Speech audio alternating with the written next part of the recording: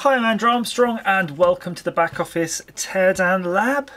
The Spectrum. I'm sure you've seen one of these. These are the new ZX Spectrum clone, much like the C64 and the Amiga before it. You can see you've got HDMI out, a whole mess of USBs, and then your 5 volts USB-C power supply, which unfortunately has a special one because the case is a little bit too deep for most of them. So that was a gotcha for me. So yeah do unwrap that one if you've got it.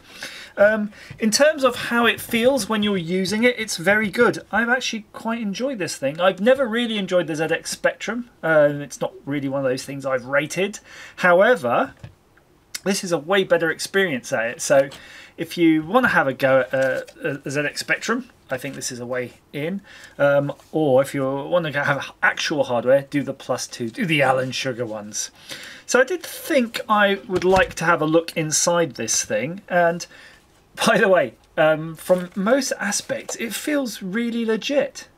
Even the plastic is slightly, like you can see it looks slightly warped, slightly banana-y. Uh, the screws, everything has that vibe of the uh, original ZX Spectrum.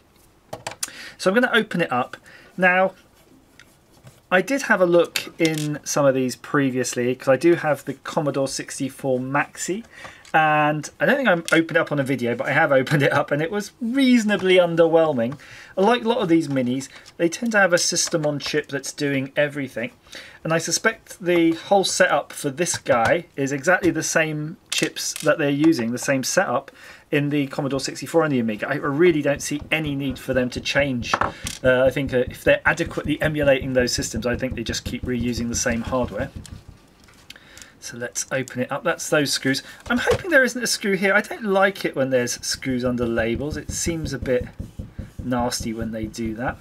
Serial number 436. What's your serial number, by the way, if you've got one? That'd be quite interesting. It'll give us an idea of how many are out there. Is this an early model? Seems quite early. Okay, we'll flip it over. Oh my word! Okay, that's super interesting. One. uh, this keyboard interface reminds me of the actual Spectrum. It had exactly that. I wonder if this is made in exactly the same way then. It's even possible that it could be the replacement Spectrum membranes that are in here, you know, and you buy them. Um, but it's definitely got this same vibe. I'm going to unplug that. Wow, we used to knacker them all the time. And I remember trying to fix them up by trying to clean those contacts. You know, your keyboard's getting a bit duff. I actually do have uh, a Spectrum in the front office, which does have a knackered keyboard. I might have to look at it again after seeing this. Now, let's zoom in here. There is a nice little... Uh, I don't know you call them it, I was going to say a memento, but you know what I mean. The, the word escapes me. But uh, yeah, in memory of Sir Clive Sinclair, 1940 to 2021, and Richard Dickinson, 1957 to 2008. With thanks to you both from the team at RGL. That's quite a nice little touch in that, isn't it? Clearly they expect you to be digging around in this, and there we go. There's not really much else here. Um, it looks like obviously a bunch of weights bolted in to give it some mass. Otherwise this thing will just be skidding all over your desk because you do play directly on it. And I haven't even bothered plugging a joystick in it or joypad because I think the correct way to play ZX Spectrum is by using the rubber key keyboard and it was fine. Better than I remember. I think maybe this keyboard is just the best version of this type of keyboard that you can get. Surprisingly thick actually when I'm squeezing this here. There's a lot of support under that and I don't really remember how that was done on the original.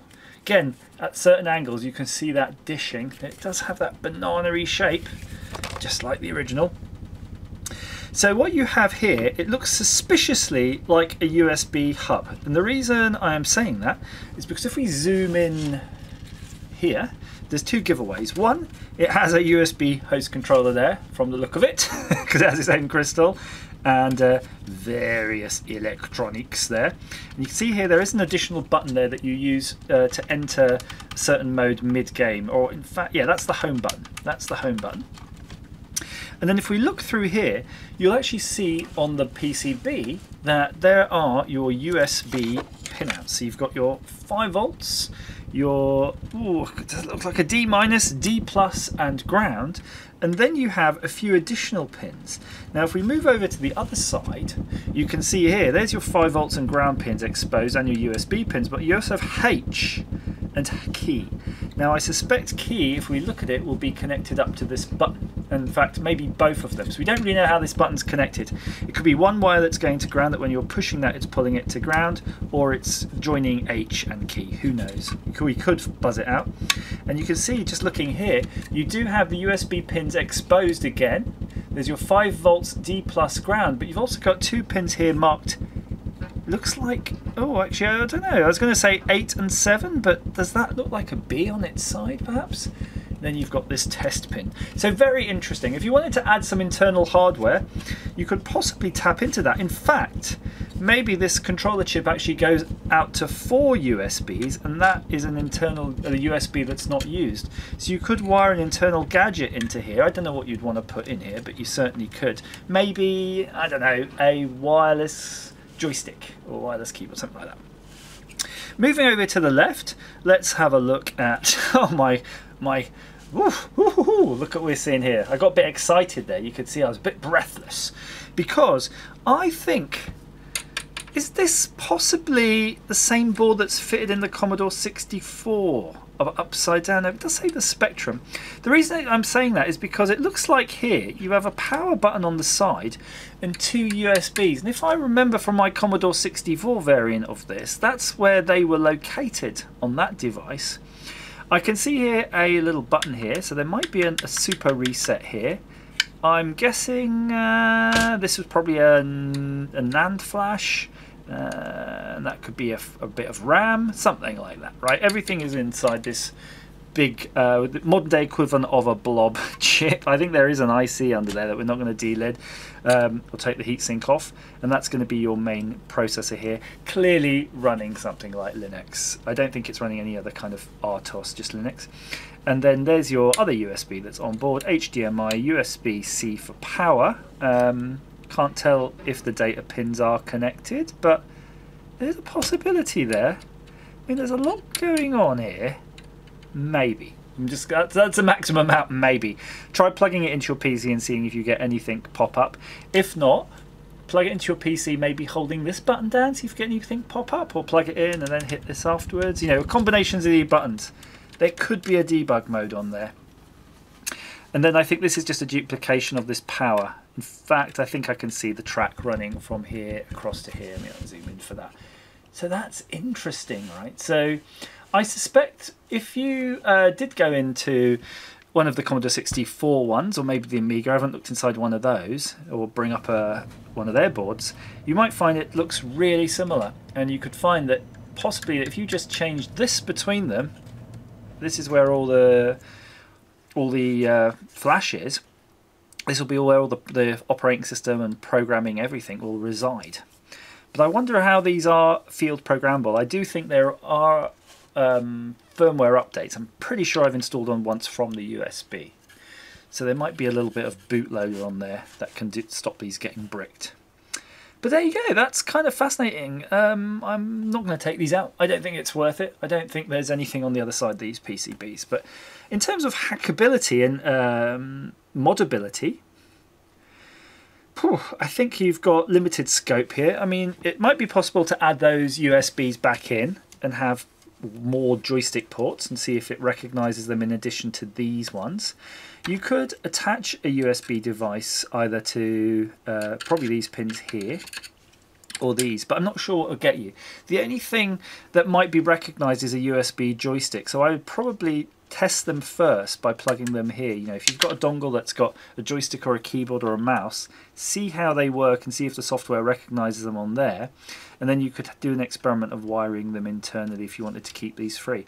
I don't know really if it's much of a, bur a burden though, is it to have a dongle sticking out something like this these days? You've got a whole, all your HDMI and everything are coming out of it anyway, so it's not really getting in your way.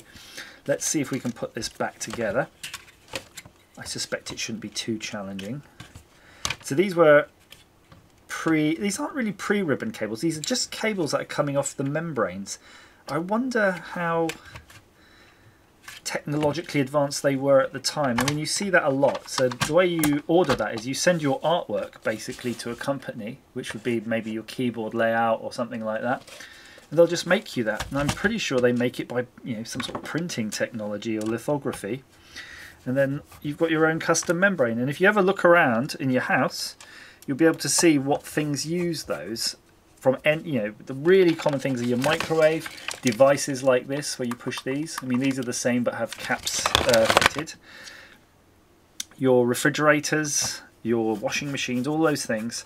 Uh, and it's an interesting concept. I wonder if Sinclair ever thought maybe they'd just release a version of this with domed clicky caps instead of actual rubber keys on there so there could have been an even worse user experience.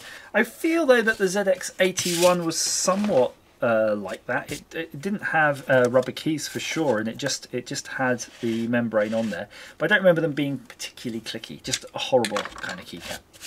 So there you are. I hope that was interesting and you uh, enjoyed this delve down into this the Spectrum retro, which I'm pretty sure that said Sinclair originally. Um, I'm sure if it's at Spectrum, Sinclair Spectrum. I'll have to go look. Um, but yeah, if it's um, the time of year when I'm recording this, which is coming up to Christmas, I wish you all the best for season and, of course, a happy new year. Bye bye bye bye bye. Spectrum.